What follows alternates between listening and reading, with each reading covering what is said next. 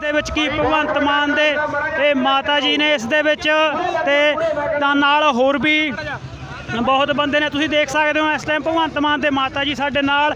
ਮਾਤਾ ਜੀ ਕਿਵੇਂ ਦੇਖਦੇ ਹੋ ਮੁੰਡੇ ਨੂੰ ਸੀਐਮ ਬਣਦੇ ਦੇਖਦੇ ਹੋ? ਬਹੁਤ ਵਧੀਆ ਬਣਦੀ ਦੇਖਦੀ ਆ।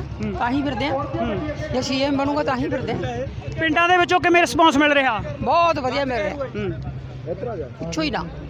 ਪੰਜਾਬ ਦੇ ਵਿੱਚ ਕਿੰਨੀਆਂ ਕੁ ਸੀਟਾਂ ਭਗਵੰਤ ਮਾਨ ਜੀ ਦੇ ਆਪਦੇ ਹਿੱਸੇ ਵਿੱਚ ਪਾ ਸਕਦੇ ਨੇ? 100 ਪੂਰੇ ਅੰਦਾਜ਼ਾ ਲਾਈ ਬੈਠੇ ਹੋ ਸੌ? ਲਾਈ ਬੈਠਿਆ ਸਾਨੂੰ ਪਤਾ ਲੱਗ ਰਿਹਾ। ਕਾਂਗਰਸ ਕਹਿੰਦੀ ਅਸੀਂ ਤਾਂ ਵਿਕਾਸ ਬਹੁਤ ਕਰਿਆ ਆਉਣ ਨਹੀਂ ਦੇਣਾ ਇਹਨਾਂ ਨੂੰ। ਪੁੱਛੋ ਹੀ ਨਾ। ਲੋਕ 20 ਤਰੀਕ ਨੂੰ। 20 ਤਰੀਕ ਨੂੰ ਦੱਸ ਦੇਣਗੇ ਲੋਕ ਵੀ ਕਿੰਨਾ ਵਿਕਾਸ ਕੀਤਾ ਹੈ।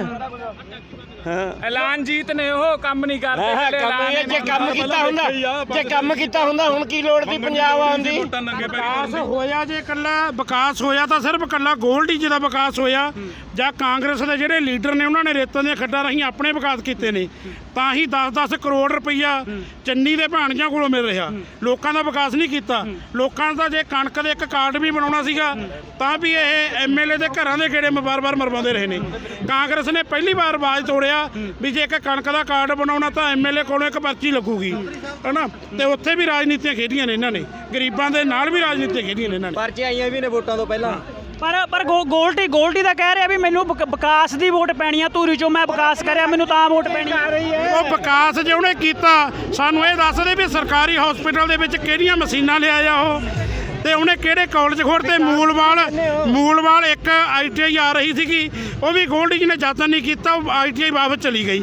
ਜੇ ਗਲੀਆਂ ਨਾਲੀਆਂ ਨੂੰ ਵਿਕਾਸ ਮੰਨਦਾ ਤਾਂ ਮੈਨੂੰ ਲੱਗਦਾ ਵੀ ਉਹਨਾਂ ਦਾ ਯੂਨੀਵਰਸਿਟੀ ਦੇ ਵਿੱਚ ਪ੍ਰਧਾਨ ਬਣਨ ਦਾ ਜਾਂ ਪੜ੍ਹਾਈਆਂ ਕਰਨ ਦਾ ਕੋਈ ਫਾਇਦਾ ਨਹੀਂ ਹੈਗਾ। ਇੱਕ ਉਹ ਕਿਵੇਂ ਦੇਖਦੇ ਹੋ ਜਿਹੜੀ 14 ਤਰੀਕ ਨੂੰ ਰੈਲੀ ਹੋਈ ਆ ਰਾਜੋ ਮਾਇਰੇ ਉਹਦੇ ਵਿੱਚ ਸਿੱਧੂ ਬੋਲ ਕੇ ਨਹੀਂ ਗਿਆ ਉਹਨੂੰ ਕਿਵੇਂ ਦੇਖਦੇ ਹੋ? ਸਿ- ਸਿੱਧੂ ਨੂੰ ਸਿੱਧੂ ਨੂੰ ਪਤਾ ਸੀਗਾ ਵੀ ਗੋਲਡੀ ਜੀ ਨੇ ਤੇ 50000 ਤੋਂ ਵੱਧ ਵੋਟਾਂ ਦੇ ਨਾਲ ਹਾਰਨਾ। ਉਹਦੇ ਕਰਕੇ ਸਿੱਧੂ ਜੀ ਨੂੰ ਨਾ ਪਤਾ ਹੋਣ ਕਰਕੇ ਉਹ ਤਾਂ ਨਹੀਂ ਉਹ ਕੋਈ ਬਿਆਨਬਾਜ਼ੀ ਕਰਕੇ ਮਾਤਾ ਜੀ ਕਿਵੇਂ ਦੇਖਦੇ ਹੋ? ਕਿੰਨੀਆਂ ਵੋਟਾਂ ਨਾਲ ਮਾਨ ਸਾਹਿਬ ਜਿੱਤ ਸਕਦੇ ਨੇ? 60000 ਵਾਧੂ। ਲਾਈ ਬੈਠੇ ਹੋ ਅੰਦਾਜ਼ਾ?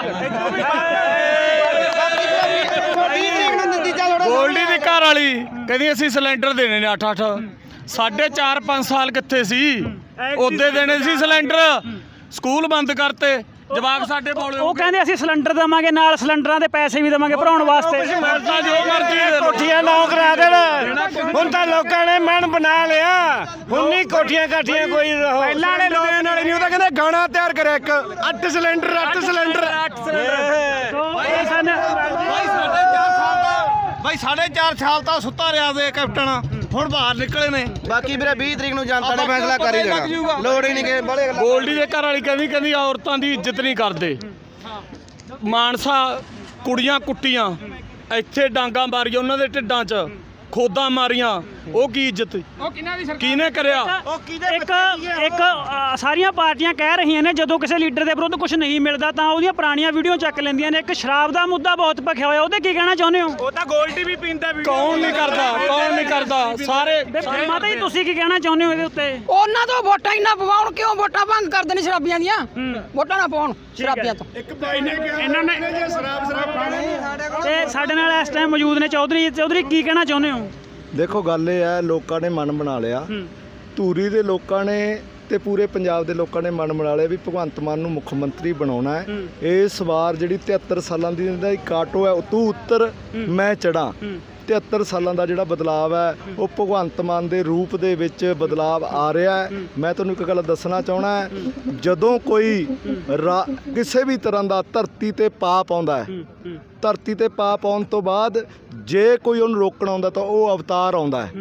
ਅੱਜ ਰਾਜਨੀਤੀ ਦੇ ਵਿੱਚ ਇੱਕ ਅਵਤਾਰ ਹੈ ਭਗਵੰਤ ਮਾਨ ਦੇ ਰੂਪ ਦੇ ਵਿੱਚ ਆਇਆ। ਪੰਜਾਬ ਦੇ ਲੋਕ ਆ ਜਿਹੜੇ ਬਦਲਾਵ ਚਾਹੁੰਦੇ ਆ। ਇਹ ਲਾਸਟ ਦੇ ਵਿੱਚ ਤੁਸੀਂ ਲੋਕਾਂ ਨੂੰ ਕੀ ਸੁਨੇਹਾ ਲਾਉਣਾ ਚਾਹੁੰਦੇ ਹੋ ਵੋਟਰਾਂ ਨੂੰ ਕੀ ਲਾਸਟ ਦੇ ਵਿੱਚ ਕੀ ਕਹਿਣਾ ਚਾਹੁੰਦੇ ਹੋ?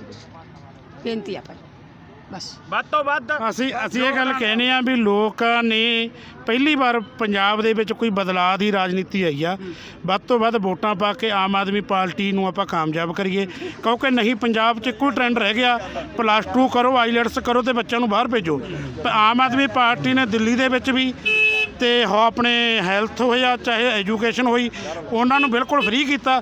ਅਸੀਂ ਇੱਥੇ ਵੀ ਇਹ ਚੀਜ਼ਾਂ ਫ੍ਰੀ ਕਰਾਂਗੇ ਤੇ ਸਾਡੇ ਧੀਆਂ ਪੁੱਤਾਂ ਨੂੰ ਪੰਜਾਬ ਦੇ ਵਿੱਚ ਹੀ ਰੁਜ਼ਗਾਰ ਦੇਵਾਂਗੇ। ਆਸਟ੍ਰੇਲੀਆ, ਕੈਨੇਡਾ ਜਾਣ ਲਈ ਕੋਈ ਲੋੜ ਨਹੀਂ ਪਈ। ਇਹ ਜਾਣੇ ਭਗਵੰਤ ਮਾਨ ਤੋਂ ਡਰ ਕੇ ਸਾਰੇ ਇਕੱਠੇ ਹੋਏ ਫਿਰਦੇ ਨੇ ਪਰ ਲੋਕਾਂ ਨੇ ਮਨ ਬਣਾ ਰੱਖਿਆ। ਇਹ ਕੋਈ ਰੌਲਾ ਨਹੀਂ ਹੈਗਾ ਵੀ ਸੀਐਮ ਬਣਨ ਤੋਂ ਕੋਈ ਰੋਕ ਲੂਗਾ ਸਾਰੇ ਚਾਹੇ ਜਿੰਨੇ ਮਰਜ਼ੀ ਇਕੱਠੇ ਹੋ ਜਾਣ ਲੋਕ ਅਲੱਗ ਇਕੱਠੇ ਹੋਏ ਨੇ ਲੀਡਰ ਅਲੱਗ ਇਕੱਠੇ ਹੋਏ ਲੋਕ ਭਗਵੰਤ ਮਾਨ ਦੇ ਹੱਕ 'ਚ ਇਕੱਠੇ ਹੋਏ ਨੇ ਲੀਡਰ ਇਹਦੇ ਉਲਟ ਇਕੱਠੇ ਹੋਏ ਨੇ। ਇਹਨੂੰ ਕੋਈ ਰੋਕ ਨਹੀਂ। ਜਿਵੇਂ ਤੁਸੀਂ ਕਨੌਰੀ ਥੋੜੀ 10 ਮਿੰਟ ਕਰ ਜਿਵੇਂ ਜਿਵੇਂ ਜਿਵੇਂ ਜਿਵੇਂ ਜਿਵੇਂ ਤੁਸੀਂ ਦੇਖ ਸਕਦੇ ਹੋ ਇੱਧਰ। ਕਾਫਲਾ ਬਹੁਤ ਵੱਡਾ ਹੈ ਤੇ ਭਗਵੰਤ ਮਾਨ ਦੇ ਮਾਤਾ ਜੀ ਇੱਥੋਂ ਜੀ ਲੰਘ ਰਹੇ ਸੀ।